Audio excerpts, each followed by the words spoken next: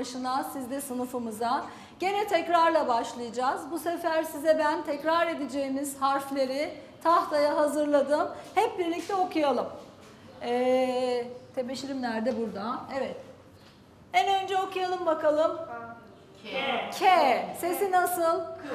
Ak derkenki gibi. P. P harfi sesi nasıl? Kapı derken duyuyoruz. T. T harfi sesi atkı derken duyuyoruz. Ş. Ş harfi sesi nasıl? Şaşır derken duyuyoruz. N. N harfi sesi hmm, nane derken duyuyoruz.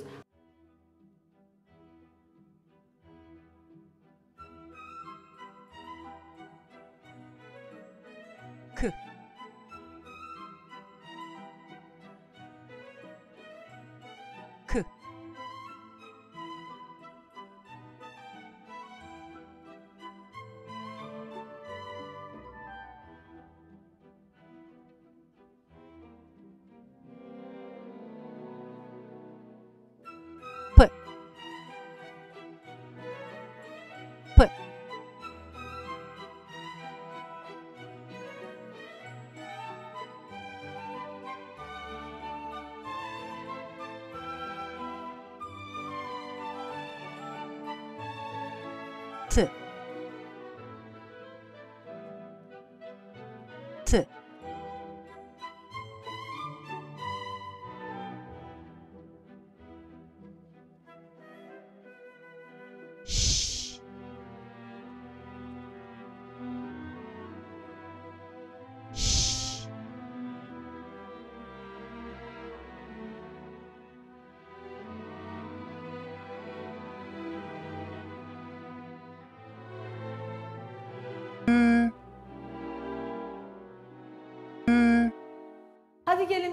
hızla seslerimizle sayalım. A, E, Ö, Ü. Evet, bugün farklı bir çalışma yapacağız. Şimdi size onu anlatmadan evvel buna yapacağımız, bu çalışmayı yapacağımız iki kelimeyi tahtaya yazacağım. En önce onları bir okuyalım bakalım.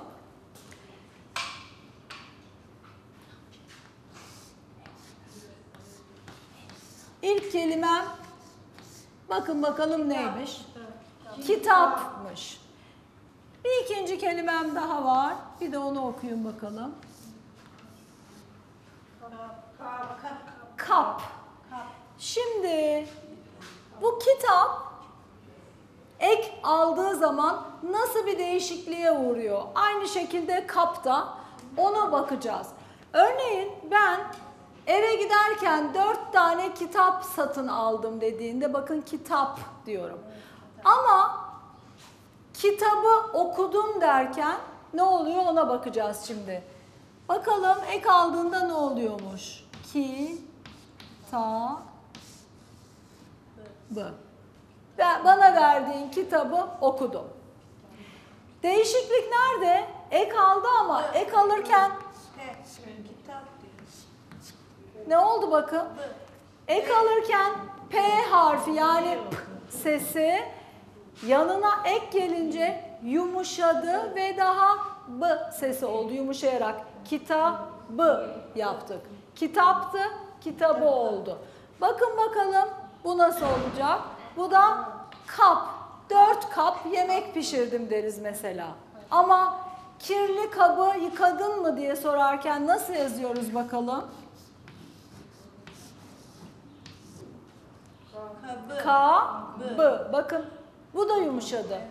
Artık P harfi değil ne var orada ek aldığı için? B. B harfi var. Bu tarz iki kelimede de aynı tarz ek alınca yumuşama değişikliği yaşadık.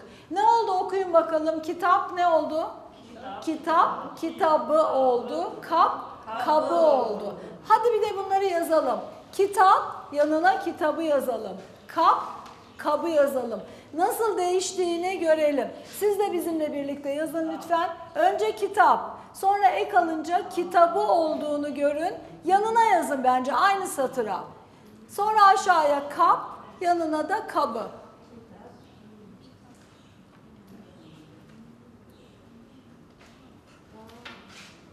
Kitap, ek alınca, ek alınca ne oluyormuş, nasıl yumuşuyormuş onu yazın.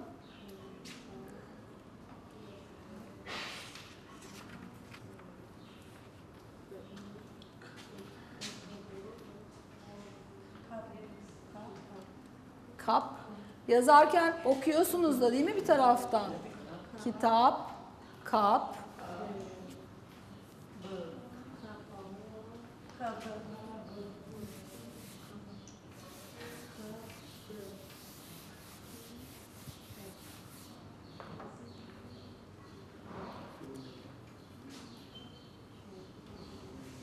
Evet.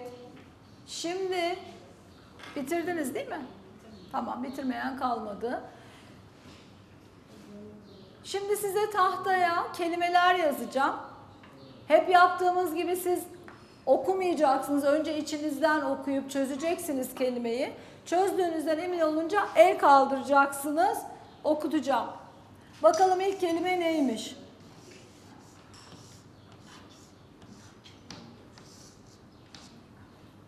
İlk kelime neymiş? Nakit, Nakitmiş. Elif Hanım okudu. Nakit. nakit, Nakit. Evet. Peki. İkinci kelimeyi yazıyorum.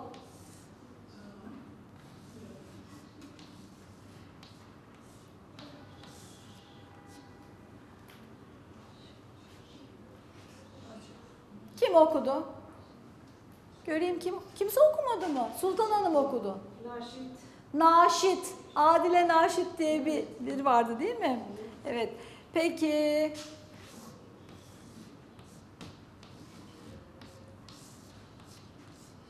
Bakın bakalım bu neymiş? Kim okuyor? Buyurun Emine Hanım.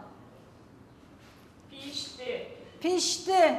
Evet, yemek pişti gibi. Birazcık daha uzun bir kelime şimdi.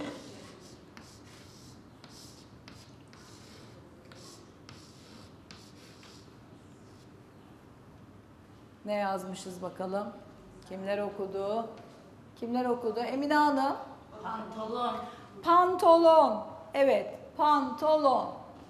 Haydi gelin şimdi ben söyleyeyim siz yazın. Başlayalım mı? İlk kelime. Patik. Patik. İki hece bakın. Patik. İki tane sesli koymanız lazım. Siz de bizimle yazıyorsunuz değil mi? Patik. Patik. İki heceyle. Önce pa'yı yazın. Pa'yı yazdıktan sonra tik yazmaya uğraşın. Patik.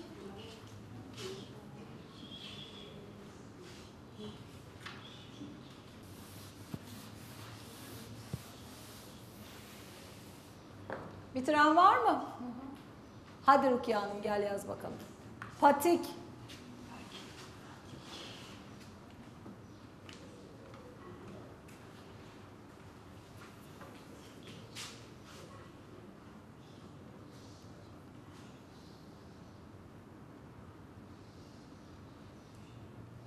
Pa.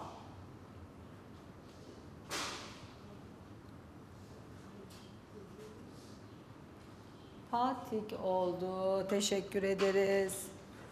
Herkes baktı mı böyle yazmış mı? Kontrol etti mi? Patik. Bir sonraki kelimeyi söylüyorum. Pişkin. Ekmek ne kadar pişkin dediğimiz gibi. Pişkin. İki hece. Pişkin.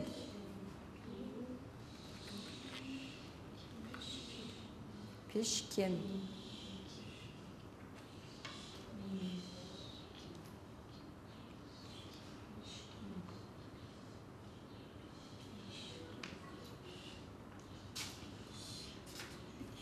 Bu pi mi? Bak bakalım. Bu harf ne? Hangi harf? P'nin yanında ne var? Ama biz ne diyoruz? Pi diyoruz. Pişkin. Evet ama bak iyi diyoruz. Dikkat. İncesini kullanacaksın. Piş. Ne var orada bir tane de? Ne gelecek? Evet şey gelecek. Pişkin. Çok güzel olmuş. Pişkin.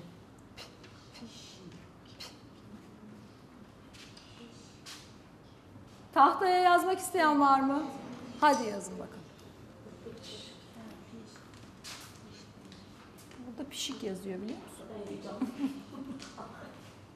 Bak bakalım fark neredeymiş. Şimdi Emine Hanım'ın yazdığı biraz ayrı, biraz uzağa yaz istersen ya da aşağıya ki anlaşılsın.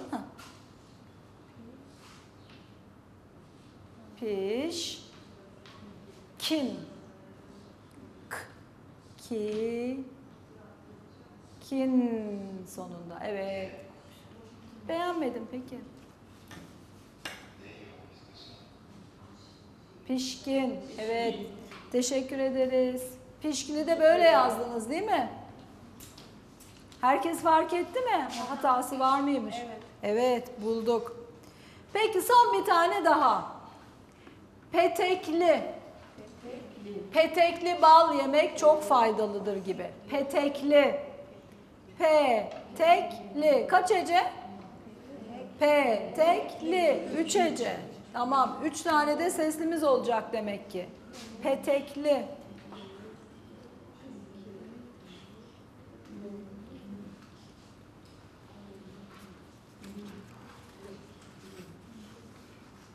Petekli. Petekli diyoruz bak. Petekli demiyoruz.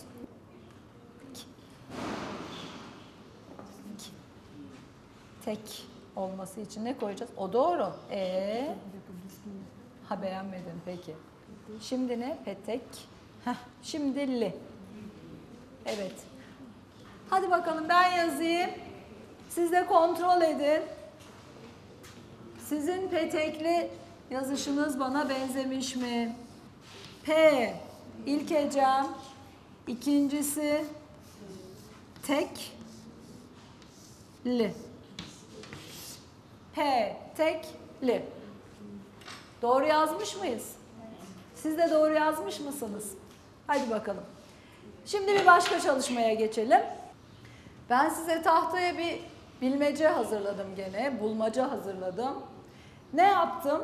Bazı kelimeler yazdım ama yazarken bazı harfleri boş bıraktım. Siz şimdi o harfleri doldurarak doğru kelimeleri bulun istiyorum. Size bir ipucu da verebilirim. Bunların hepsi hastalık ismi. Çoğunlukla çocukken geçirdiğimiz hastalıklar. Hadi siz de bizimle birlikte düşünün. Bakalım o boşluklara hangi harfleri koyarsak ki e, bu e, hastalıkların ismini buluruz. Kim buldu ilk? Sen o alttakini buldun. Olur yaz onu yaz. Sırayla gitmek zorunda değiliz. Boğmaca. Evet.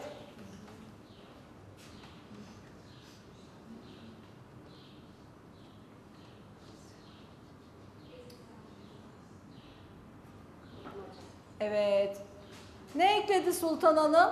İki tane A ekledi. Böylelikle nasıl okuyacağız? Bo, ma, ca. Evet. Kim başka buldu? Rukiye Hanım buldu. Gel bakalım Rukiye Hanım. Hangisini buldun? En baştakini buldun. Tamam.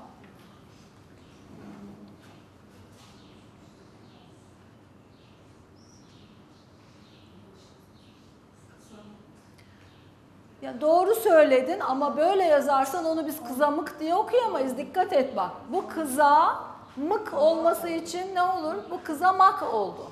Mık olması için ne yapmamız lazım? Gel bak bakalım düşün. Ne koymamız lazım buraya? Mı. Evet işte bu. Evet. Şimdi kızamık oldu. Nelere ekledi Rukiye Hanım? A ile I ekledi. Bu hastalığımızda neymiş? Kızamıkmış. Başka hatırlayan var mı? Ekleyip de bu gelin Emine Hanım siz hangisini buldunuz bakalım? Hadi bakalım. Ne ekleyeceksiniz? Evet.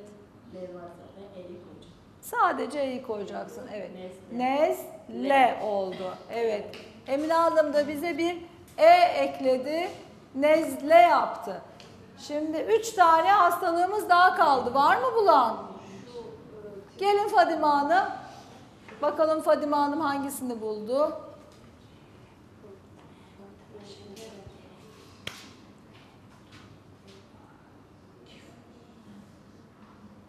Ne oldu? Verem oldu. Evet. Verem. Görünüyor mu? Şöyle bir netleştireyim mi? Peki başka? Yok mu başka bulan? Sultan Hanım hep buluyor. Emine Hanım hep buluyor. Hadi bulun siz de. Var mı başka bulan? Şu ikisi kaldı. Peki gel madem senden başka bulan olmadı gel Sultan Hanımcığım yaz. Hangisini buldu? Tifo. Harika. Ne ekleyeceksin oraya?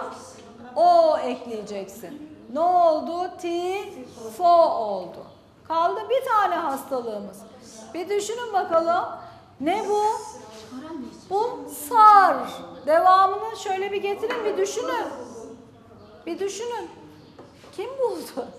Emine Hanım peki gel. Orada heyecanlı buldum buldum diyor. Gel yaz canım gel. Sarılık. Bravo. Ama ama bir dakika bak şimdi bu sarılık oldu mu? Sa, rı, sarı. Ne olacak? Sarı, rılık. Şimdi oldu değil mi? Sarılık. Teşekkür ederim. Şöyle bir bakın bakalım. Bu kızamık, nezle, verem, sarılık, tifo ve bulma, boğmacalı kelimelerini tamamlamak için nasıl harfler ekledik hep? Sesli. Değil mi? Hepsi sesli harfler eklediğimizin. Sonunda da kızamık, nezle. Ben okumayayım siz okuyun. Niye ben okuyorum? Hadi beraber okuyalım. Kızamık. Kızamık, nezle, verem, sarılık, tifo ve boğmaca kelimelerini oluşturduk. Evet şimdi ben size tahtaya bir metin yazacağım. Sonra onun üstünde çalışacağız. Evet size söylediğim metni tahtaya yazdım ben. Hazırladım. Şimdi Emine Hanım bize okur mu? Okur musun Emine Hanım? Hadi başlayalım bakalım. Bilinçli tüketiciler. Yazımızın başlığı bilinçli tüketicilermiş. Tüketiciler Ayşe Yıldırım adlı öğrenci yılın bilinçli tüketicisi tüketicisi seçildi. Evet. Ayşe Yıldırım okul kantininden aldığı kraker, krakeri Krakerin krakerin içinde iplik olduğunu olduğunu aa, Olduğunu gördü, evet. gördü. Ee, zarar zarara zararın e, gider gidermek Gel bir daha bunu beraber. Hah, bravo. Giderilmesi, giderilmesi, öğretti giderilmesi için üretici firmaya mektup yazdı. Evet. Firma firma, firma e, ona teşekkür mektubu mektubu gönderdi. Gönderdi. Ayşe bu e, yaşta bile bil, bilinç bilinçli bir e, tüketici tüketici. tüketici. Çok teşekkür ederiz. Evet. Ben diyorum ki bir kere de ben okuyayım. Siz de benimle birlikte okuyun. Siz de benimle birlikte içinizden okuyun. Her okuduğum kelimeyi ben göstereceğim. Bir kere de öyle okuyalım olur mu? Önce başlıktan başlıyorum. Bilinçli tüketiciler. Ayşe Yıldırım adlı öğrenci yılın bilinçli tüketicisi seçildi. Ayşe Yıldırım okul kantininden aldığı krakerin içinde iplik olduğunu gördü. Zararın giderilmesi için üretici firmaya mektup yazdı. Firma ona teşekkür mektubu gönderdi. Ayşe bu yaşta bile bilinçli bir tüketici. Evet, şimdi bu okuduğumuz metinde anlatılan, bize net net söylenen bir şeyler var. Onları zaten anlıyoruz. Ama bir de şöyle bir şey var ki biz her metni okurken, her şeyi okurken bir taraftan da düşünürüz. Bir taraftan da geçmişten gelen bilgilerimizle burada okuduklarımızı birleştirir, zihnimizde çalıştırarak bir şeyler, başka bir şeyler bize burada aslında net söylenmeyen, burada yazılmamış şeyleri de çıkarırız. Onları da düşünürüz. Mesela şimdi gelin bakalım bu metinle ilgili düşünelim. Bu metni okuduğumuzda dedik ya Ayşe Yıldırım diye bir kızdan bahsediyor. Nasıl biri, nasıl bir çocuk canlandı gözünüzde? Siz de düşünün bizimle. Nasıl bir kız, nasıl bir çocuk olabilir bu? Bilinçli, akıllı. Şöyle akıllı, zehir gibi, zeki, zehir gibi bir çocuk değil mi? Hem düşünüyor hem kendi haklarının farkında. Neden e, Ayşe yılın tüketicisi seçilmiş? Akıllı olduğu için. Akıllı olduğu için ne yapmış da yılın tüketicisi, tüketicisi seçilmiş? Bilinçli tüketicisi. Ne yapmış? Ne görmüş? Kalbinde bir şey almış, içinde iplik çıkmış. Hah. Mektup yazmış. Kime yazmış? Aldığı firmaya. Aldığı firmaya ne mektubu yazmış olabilir? Ancak şikayet mektubu olabilir değil mi? Şikayet mektubu yazmış. Firma ona ne yapmış? Firmada teşekkür mektubu göndermiş ki bize bildirdiğin için. Evet. İşte bütün bunları yaptığı için almış değil mi Ayşe? O yılın bilinçli tüketicisi ödülünü onun için almış. Peki bu Ayşe bizim çocuk Ayşe kaç yaşlarında olabilir dersiniz? 8 9 olabilir. Olabilir. Evet. Olabilir. Ne olabilir başka? 15 yaşında olabilir. Nereden çıkartıyorsunuz bunu? Nereden çıkart? genellikle kantinden besleniyor küçük çocuklar. Okulda bir kere okulun kantininden alıyor. Okulda olduğunu anlıyoruz Evet. oradan. Bir şey daha anlıyoruz. Bir, bir, diyor ki en sonunda Ayşe bu yaşta bile demek ki çok da ünivers- okul ama üniversite olamaz bu okul değil mi? Bu yaşta bile olduğuna göre Ayşe küçük bir çocuk. Evet takdir ediyoruz. olabilir. Aynen. Dokuz Bütün bunlar bize aslında yazmıyor değil mi? Yazılı verilmiyor. Ama biz bunları okurken düşünerek, zihnimizi Evet, çalıştırarak buluyoruz. deyince- Şimdi matematiğe geldik. Ee, matematikte hatırlarsanız 3 haneli sayılarla yani yüzlü sayılarla toplama yapmıştık. Şimdi onun aynısını çıkarma yapacağız. Gene yüzlü sayılarla bu sefer çıkarma yapacağız. Bakalım şimdi nasıl yapacağız? Kaç yazdım siz okuyun bakalım. 200 yazdım. 200'den 100 çıkarıyorum. Yazarken dikkat ediyorsunuz. Hep bu çizgiye dikkat ediyorum. Mutlaka. Çıkarma işaretimi koyuyorum. Çizgimi çiziyorum.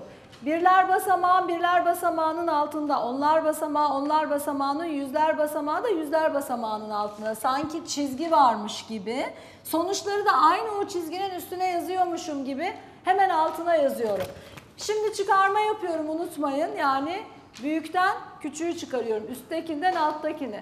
Sıfırdan sıfır çıktı kaç kaldı? Sıfır kaldı. Sıfırdan sıfır çıktı. Gene sıfır kaldı. Peki yüzler basamağına geldik. 2'den 1 çıktı. Demek ki kaçmış? Yüzmüş. 200'den 100 çıkınca 100 kalırmış. Peki aynı işlemi bu sefer 300'den 100 evet 100 çıkararak yapalım. Gene eksimi koydum. Sıfırdan sıfır çıktı. Sıfır. Sıfırdan sıfır, sıfır. 3'ten 1 çıktı bu sefer. 2 kaldı. Evet. Nasıl okuyacağız bunu? 300'den 100 çıktı veya çıkarsa 200 kalır. Hı hı. Peki şimdi aynı deminki yüzü bizim bu sefer 400'den çıkaralım. Bakalım bu sefer kaç kalacak. Akıldan yapabilir misiniz? 400'den 100 çıkarsa kaç kalır? 300 kalır değil mi? Ama biz gene de şöyle yapalım. İşlemi nasıl yapıyorsak önce birler basamağı buradan başlayıp bu tarafa doğru gidiyoruz. Birler basamağını halledelim. 0 Onlar basamağını halledelim. Sıfırdan sıfır çıktı, sıfır kaldı. Dörtten bir çıktı, kaç kaldı? Üç kaldı. Neymiş sonuç? 300. Aynen sizin aklınızdan hesap ettiğiniz gibi. Hadi gelin son bir tane daha yapalım. Bu sefer 500'den çıkaralım yüzü. 400 kaldı. Aynen siz gene aklınızdan hemen yaptınız ama gelin biz usulüyle yapalım. Sıfırdan sıfır çıktı, sıfır kaldı. Sıfırdan sıfır çıktı, sıfır kaldı. Beşten bir çıktı, dört kaldı. 400'müş sonuç. Nasıl okuyormuşuz? 500'den 100 çıkarırsak 400 kalır. Evet, bu işlemlerimizle bugünkü dersimiz de sona erdi. Bir sonraki derste buluşmak üzere. Hoşçakalın.